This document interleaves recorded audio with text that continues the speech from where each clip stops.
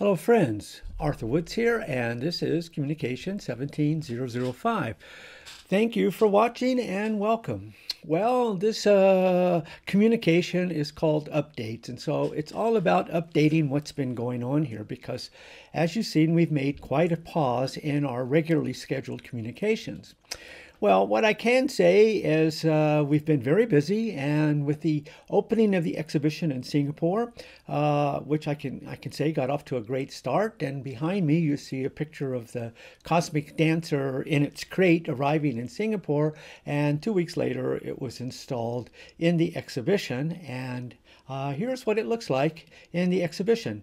Now, there's a couple of pictures. You see, we have people there already, and uh, Next to the Cosmic Dancer installation was also a video of the Ars ad Astra project. So I'm really happy to have these two projects included in the uh, exhibition, The Universe and Art. And uh, already the first articles have appeared in the news. And so behind me, you see a few excerpts from these articles. Now, I will have links to the articles also on the Universe, Universe and Art page that uh, uh, I posted my last communication and also in this exhibition. And of course, you can find links to these art articles in the Culturalization of Space uh, database that we have and also in the Geopolitical uh, Observatory page. So, uh, speaking of the Geopolitical Observatory, I, I guess you can imagine that our satellite has been working overtime in these past few weeks as well with the uh, you know the march towards war and the United States uh, invasion, if you want, not really invasion, but attack on a Syria airbase.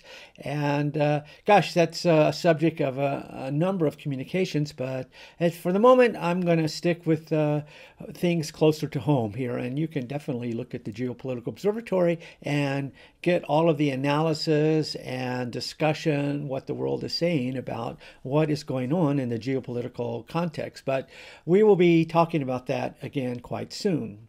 Now, my other update uh, involves the exhibition in Venice. And I was just in Venice uh, a few weeks ago doing the installation there. And here's some photos behind me. You can see uh, exactly that uh, our materials arrived and had to be picked up by boat because that's the only way you can move things around in Venice. And then uh, they were transported by boat down to the Rialto Bridge. And that is exactly where the Palazzo Bembo is.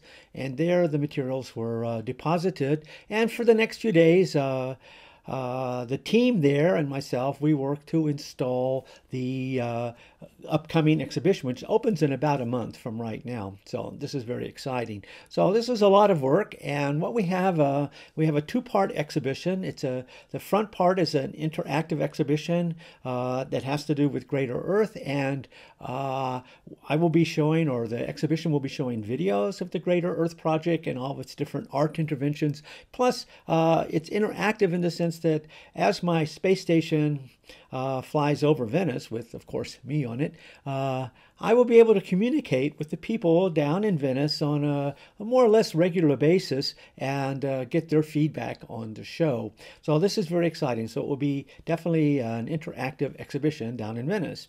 Now, the other part of the show, and you can see here in the installation photograph, uh, it's one of the art interventions that you can find under our intervention uh, section on the website, and it's called Earth Seeds.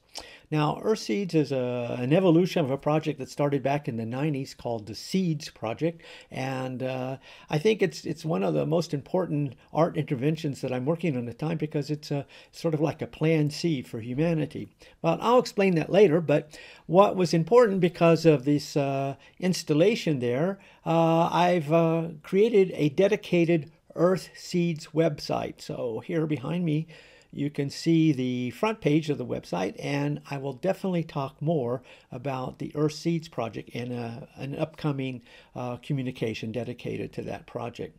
Well, okay, the last update that I have to talk about, of course, is my upcoming launch, and so I can tell you, but between now and uh, uh, the opening of the show in Venice on the on the 11th of May, I will definitely be on the space station because I have to be there in order to make this internet interactive communication work. So that's coming up very very soon. My launch, I'm in the final preparations. You see here, I'm. Uh, I'm in the clean room, and behind me on the launch pad is the Sagan 3, our launcher that's going to take me in, and I will be inside our space plane, which has been named Destiny.